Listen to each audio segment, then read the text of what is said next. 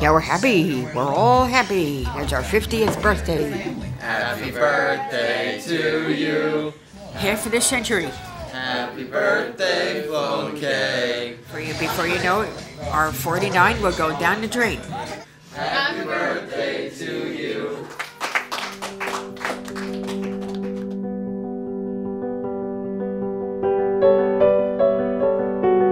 I wasn't told anything. I just knew they were different. I knew they were twins, but they were different than other twins that I had met. Yeah, well, our dishwasher we got on Monday, July 13th, 1987. And our stove we got on September 16th, 1991. My parents never spoke about it. And this is Patsy, Jackie, and Vanna White. Yeah, Pat, yeah, Patsy, Jack, and Vanna White, we got that December 23rd, 1985. I saw the movie Rain Man, I said, oh my God, it's them, it's them.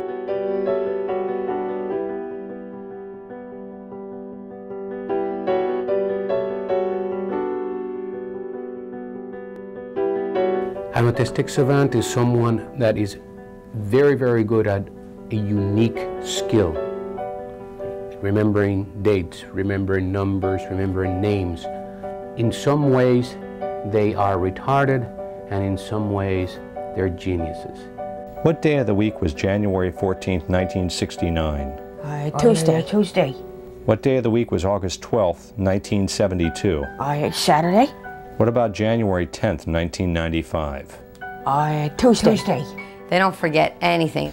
What did you eat on January 10th, 1994? Oh, for dinner we had pork chops, we had mixed vegetables, and baked potato. What did you drink? I had mint tea. Yeah, mint tea.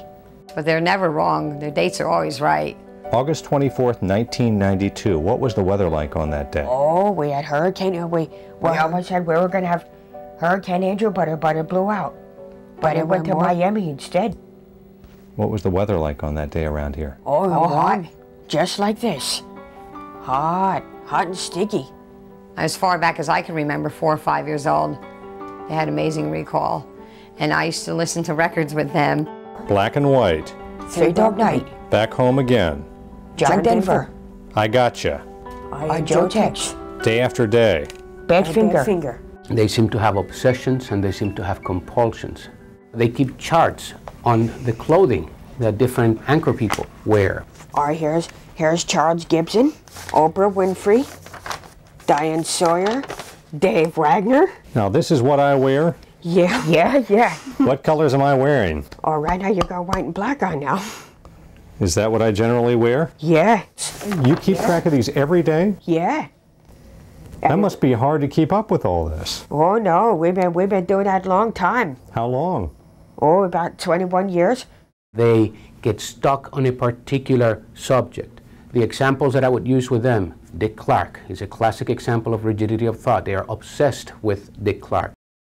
This is our, uh, this is we use for our personal savior, and but the main thing as our personal savior is this, Dick Clark. Okay, here we go.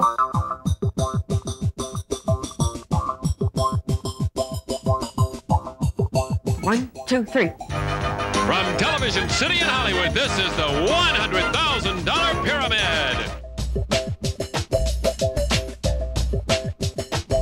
Well, we started to watch the pyramid on, on May 6, 1974. Um, the woman who rode naked Lady uh, Coventry, yes. And we have our papers in front of us, and uh, we write everything down. You're gonna go unstrapped this time? Unstrapped. Unstrapped. You're going unstrapped. We, we, we still count the buzzers and the bells as usual. Yeah. Three buzzers and 46 belts so far. Good. Great. Now get it, now get it this time, now get it. Oh, very exciting. It exercises your brain. And it makes it smell like rubber.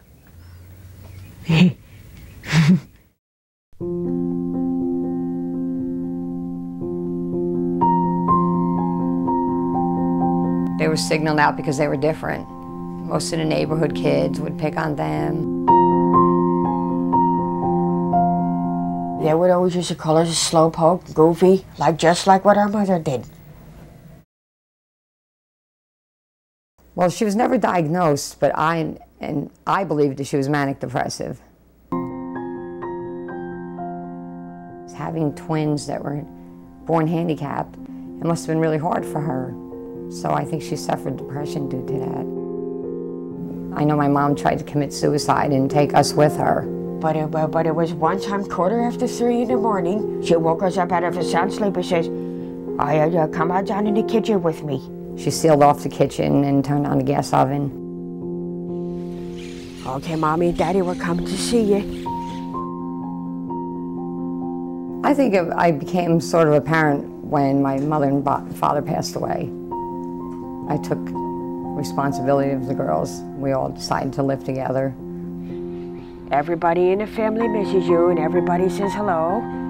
Very sheltered. My mother wouldn't allow them to work.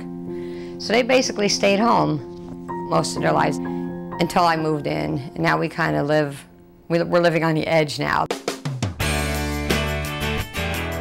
Have a nice day. We set out a journey to be somewhere on New Year's Eve. We're on our way to see Dick Clark. We've been watching Dick Clark since we were little girls. To Catherine, the best wishes, Dick Clark. It's a treasure, dear. Treasure? Yeah, it's a treasure. They knew it was going to be the last time he's hosting this show that they watched for 32 years. Well, we just filming. It was nice that he stepped in, but he didn't do a good job, like Dick Clark does. Not as good as Dick Clark, though. You know, in the place they wanted to be, to see the man they wanted to see. Oh, yeah, you're beautiful. I wanted them to see this for so long, and we're there. It was, it was, I guess it was, I felt complete. It was perfect.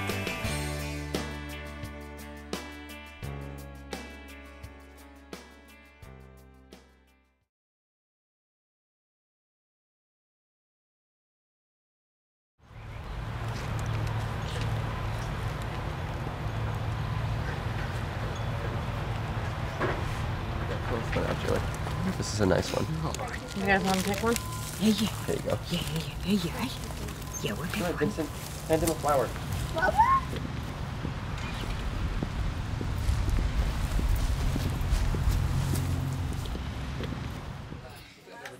You want one with a rose on it, Julie, or do you want, yeah, with a rose?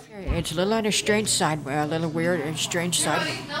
Being uh, being at our 50th birthday without Janie, and so so it's a, we're trying we're trying not to be emotional, but it's it, it's it, it'll be like it'll be like moments that that will be emotional.